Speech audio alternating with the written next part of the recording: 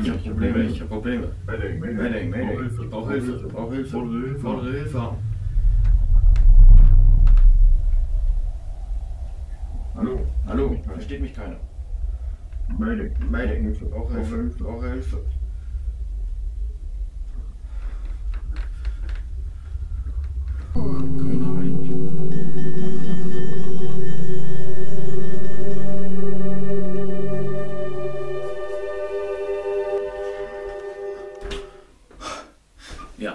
Das alles und noch vieles, vieles mehr ist möglich mit einem Greenscreen.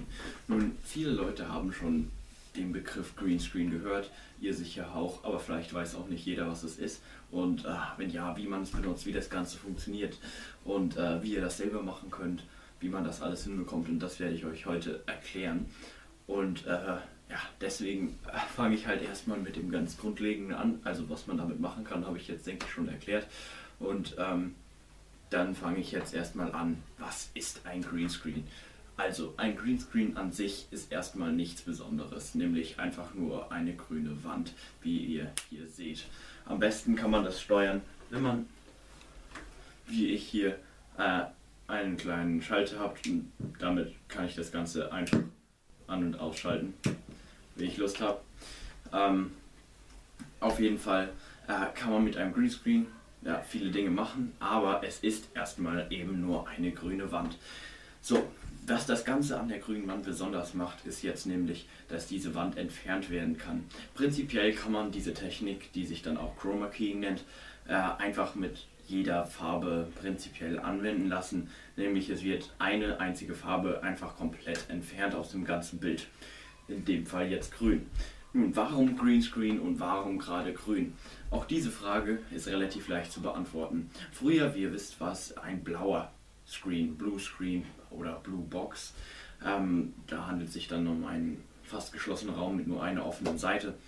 Ähm, damals verwendete man Blau, weil man Schwarz-Weiß-Filme hauptsächlich gedreht hat und noch keine Computer hatte. Deshalb konnte man das Blau entfernen, indem man den Film mit einer Gelbstich sozusagen filmte. Und das ging dann auch später noch in den frühen Anfängen des äh, äh, Buntfilm machen es auch noch mit einem Gelbstich filmte und dann vor einem blauen Film. Und wenn man dann die äh, Filme, also den Hintergrund hatte man dann in, auch in einer anderen Farbe und äh, eingefärbt extra noch. Wenn man die beiden Filme übereinander legte, haben sich die Farben so ergänzt, dass das Blaue verschwunden ist und man anstelle des Blauen den Hintergrund von dem Film, den man darunter gelegt hat, durchgesehen hat. Deswegen kam der Blue Box.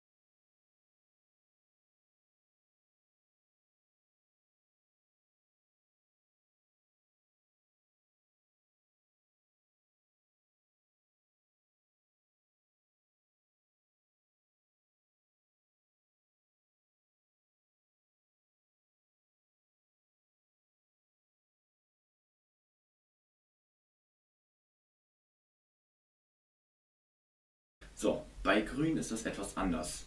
Ein Greenscreen wird immer mit einem Computer bearbeitet. Ähm, das heißt, da wird einfach die Farbe ähm, grün ähm, von entfernt. Und äh, warum nimmt man denn jetzt gerade grün?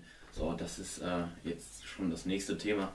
Ähm, man nimmt grün, da äh, grün eine Farbe ist, die das Auge besonders gut sehen kann, beziehungsweise als besonders leuchtend empfindet. Das heißt, auch wenn ich jetzt hier meine Hintergrundbeleuchtung ausschalte, sieht das Grün immer noch sehr ja, ja, dominant, sehr grün, sehr kontrastreich für euch aus. Und das liegt einfach daran, wie unser Auge aufgebaut ist. Unser Auge ist besonders sehempfindlich für Grün. Und dementsprechend sind auch die Bildsensoren aufgebaut, sodass der Grünkanal besonders stark ist und der, die Farbe Grün besonders ähm, ja, kontrastreich interpretiert wird vom Bildsensor. So, das hat den Vorteil, dass wenn man einen Greenscreen hat und man will ja keine Schatten auf dem Greenscreen haben, wie ihr seht, ich mache generell überhaupt keine Schatten da hinten drauf, ähm, dann möchte man den ganzen Greenscreen leuchtend grün haben. Und das kriegt man bei einer Bluebox ähm, nur hin, indem man extrem viele sehr starke Scheinwerfer benutzt. Ähm, ich war vor kurzem beim ARD in einem äh, ja, im Studio und äh, die haben da auch eine Bluebox und die haben dafür 48 Scheinwerfer gebraucht, um die wirklich auszuleuchten. Und ähm, mein Greenscreen wird jetzt nur mit zwei Scheinwerfern ausgeleuchtet und wie ihr seht, reicht es auch vollkommen. Ähm, und das ist sogar noch eine gratis Software, aber da kommen wir später noch dazu. Also, die Sache ist die, man braucht weniger Energie, um den Greenscreen auszuleuchten, als man das bei jeder anderen Farbe brauchen würde. Deshalb Greenscreen. So, dann kommen wir auch mal direkt zum nächsten Thema. Wie macht man das überhaupt? Ja, ähm, dazu braucht man Software. Und diese Software ist leider nicht immer gratis, sondern in den meisten Fällen ziemlich teuer. Die beste Software dafür ist Adobe After Effects. Ähm, mit Adobe After Effects kann man den grünen Hintergrund perfekt nahtlos entfernen, so dass überhaupt nicht auffällt, dass je etwas da gewesen ist. Was jetzt werden vielleicht manche sagen, dieses besonders nicht so Auflösung und das ist ja hier auch fast so. Äh, damit geht es noch deutlich besser, obwohl auch bei dem Programm, was ich benutze, es besser geht. Die Software, die ich benutze, ist ähm, VSDC Video Editor. Die Software ist gratis und äh, die könnt ihr auch runterladen. Der Link ist hier unten in der Beschreibung. Ich zeige euch dann gleich, wie man damit umgeht. So, also erstmal müsst ihr ähm, darauf achten, dass euer Greenscreen wirklich richtig ausgeleuchtet ist. Und das macht ihr so, indem ihr euch möglichst weit nach vorne, weit weg von dem Greenscreen setzt, soweit es eben zulässt. Also prinzipiell als Greenscreen könnt ihr eine grüne Wand benutzen oder einfach ein grünes Tuch. Versucht, dass keine Falten drin sind, wenn ihr ein Tuch habt. Ja? Also, das habe ich schon gesagt, ist nur was normales Grün.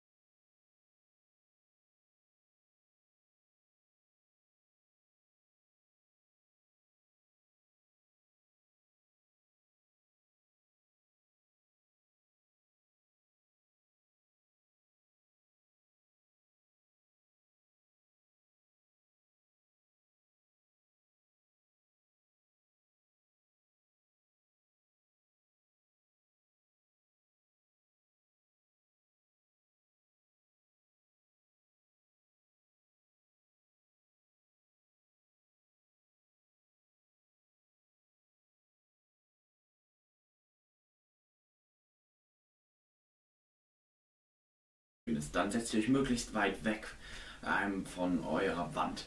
Dann nehmt ihr zwei Lampen. Hier auf der linken habe ich eine Lampe und auf der rechten. Ähm, und ähm, dann habe ich eine Lampe noch oben. Das kann auch eure Zimmerlampe sein. Müsst ihr halt darauf achten, dass sie wirklich direkt auf euch geht, damit der Schatten, den ihr werft, auf den Boden geht und eben nicht auf die Wand. Auf die Wand braucht ihr dann halt noch die zwei Leuchten und so habt ihr keinen Schatten auf der Wand und ihr seid auch einigermaßen ausgeleuchtet. So, wenn ihr das habt, könnt ihr einfach anfangen zu filmen und äh, ja, erzählt was, keine Ahnung. Je nachdem und wie lustig ihr das halt dann machen wollt. Und ähm, könnt euch bewegen, wie ihr wollt. Ihr werdet ja keine Schatten werfen, weil die Schatten auf dem Boden sind, also keine Schatten auf die Wand. So, nachdem ihr das alles gefilmt habt, äh, nehmt ihr jetzt das Programm. Und ähm, das zeige ich euch jetzt einfach direkt mal, wie ich das gemacht habe.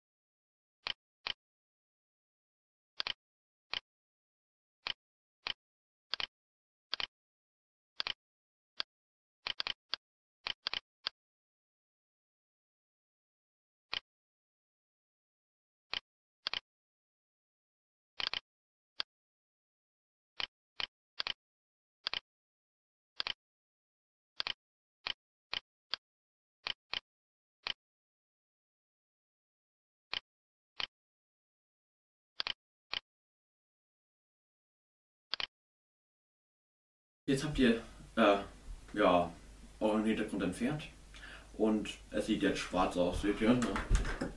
Alles wunderhübsch. Schwarz, nichts da. Für Produktvideos und ähnliches ist das sicher ganz gut, auch weiß oder sowas, aber eigentlich wollt ihr etwas Unglaubliches machen, etwas, um die Leute ein bisschen zu beeindrucken. Ja? Zum Beispiel ein schönes Studio, äh, wie das hier oder auch irgendwas anderes, eine schöne Aussicht oder so. Und dafür braucht ihr Hintergründe. Wenn es einfach so Aussichten sein sollen oder sowas, könnt ihr die selber fotografieren. Und äh, das ist sicher auch nicht schwer. Ähm, nur entsteht ein leichter Effekt, besonders wenn ihr so wie ich jetzt ähm, eure Füße nicht auf dem Bild habt. Ähm, beziehungsweise zeigt, wo eure Füße stehen, dass es so aussieht, als hättet ihr einfach eine wunderschöne große Leinwand hinter euch. Äh, dass das aber halt nicht der Fall ist und das soll ja aussehen, als wärt ihr wirklich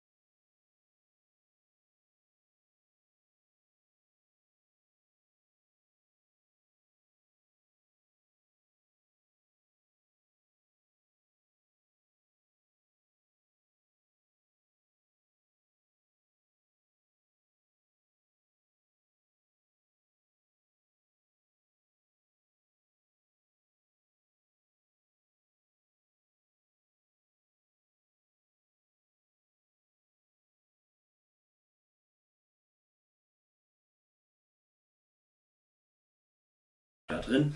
Dazu müsst ihr ähm, entweder eure Füße reinmachen oder Studios nehmen, die ähm, ja wirklich vom Computer entworfen wurden oder ähnliches. Und da man sowas nicht so leicht selbst machen kann, als viel Aufwand dahinter steckt, gibt es ähm, viele auch YouTuber oder andere Anbieter, die solche Studios schon äh, programmiert haben bzw. designt haben, die ihr zum Teil auch gratis nutzen könnt. Ähm, die findet ihr einfach ganz leicht bei YouTube. Ähm, geht einfach rein, Free Free Green Screen Backgrounds oder Templates ähm, und dann ähm, werdet ihr da so viele finden. Also da gibt es wirklich unglaubliche. Ähm, die fügt ihr dann einfach als Hintergrundvideo ein, wie ich es äh, schon gezeigt habe. Ähm, so, wenn ihr das gemacht habt, seid ihr eigentlich schon fast fertig. Müsst es nur noch rendern, das war's. Nur wird es, mittlerweile gibt es ziemlich viele Leute, die einen Greenscreen benutzen, weshalb es nicht mehr so unglaublich ist, wenn ihr ein normales Studio nehmt, das vielleicht jeder nimmt oder sowas. Und deswegen könnt ihr es auch selber machen und dann kommt es schon wieder was anderes. Dann kommt es schon viel besser rüber. Ja. Ähm, wichtig ist es, dass wenn ihr ähm, ja, professioneller rüberkommt, mehrere Schichten benutzt. Das heißt, ihr habt das Hintergrundvideo, dann habt ihr euer Videos und dann macht ihr noch irgendwas anderes davor. Ähm, und wenn es jetzt nur ein Tisch ist oder sowas, ja, guck mal hier, sieht das schon viel besser aus. Ne? Ich stehe jetzt ein bisschen weiter hinten im Raum äh, und äh, habe jetzt diesen schönen Tisch hier vor mir. Ähm, ist ja eigentlich eine schöne Sache. Ne? Und ja, da müsst ihr halt dann äh, ein bisschen ja, darauf achten, dass ihr euch dementsprechend auch verhaltet. Und äh, bei dem Video müsst ihr halt vorher schon ein bisschen planen. Und dann könnt ihr so ein, ein eigentlich langweiliges Studio, beziehungsweise eins, was jeder hat, so äh, umdesignen, dass es wirklich individuell wird. Und wenn ihr ein ganz individuelles Studio haben wollt, dann geht auf ähm, Homestyler, das ist eine Chrome Web App, ähm, die, der Link dazu ist auch in der Beschreibung. Und ähm, mir ist gerade der Markenname davon entfallen. Auf jeden Fall Homestyler heißt die, äh, heißt die App. Und äh, da könnt ihr euer ganz eigenes Studio kreieren, äh, in der 2D-Ansicht erstmal so zeichnen. Ne? Und äh, danach könnt ihr das auch in der 3D-Ansicht, Bilder davon machen, Filme, je nachdem. Und ähm, dann könnt ihr ganz eigene Studios haben mit ja, Logos überall oder je nachdem, wie ihr halt äh, euren Kanal repräsentieren wollt. Eine wichtige Sache, auf die ihr noch achten müsst, ist, dass ihr immer das richtige Licht verwendet zum Hintergrund. Wenn ihr jetzt zum Beispiel ähm, euch selber ganz hell erstrahlt habt mit vielen Scheinwerfern, je nachdem, oder starken oder so, ähm, und dann das Bild ist eigentlich düster, dann wird das sofort auffallen. Oder ihr habt jetzt, ich ähm, habe auch jetzt hier von rechts ein bisschen mehr Licht, einfach, ähm, dann müsst ihr auch, und äh, in dem Bild, im Hintergrundbild kommt die Sonne aber von links dann merkt man sofort, da stimmt was nicht.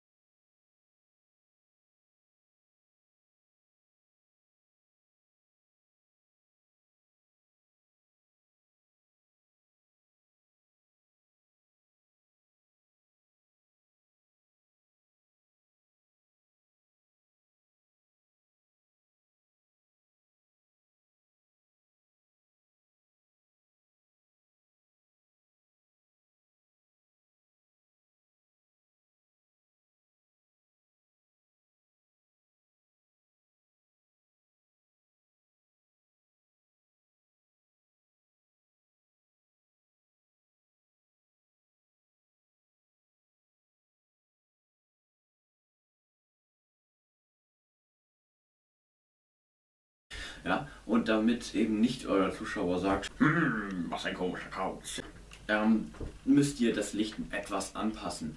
Auch äh, wenn ihr jetzt in großen Räumen seid, ne?